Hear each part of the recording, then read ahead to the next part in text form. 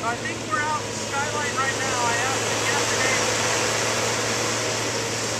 I think we're out about 650 feet right now from the from the yarder to the tail stump. And we're yarding about 400 feet.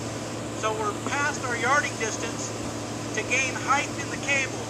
So this this slope goes down. There's a small drainage, a class. It's a it's a seasonal stream. It doesn't even run water right now. It's perfectly dry. But then we attach the cable on the other slope.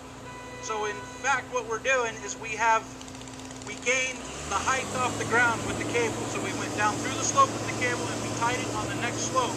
So then that makes the cable stay, you know, 20 feet off the ground. And, the, and that is what we call deflection, which allows us to suspend one end of the logs off the ground to do two things.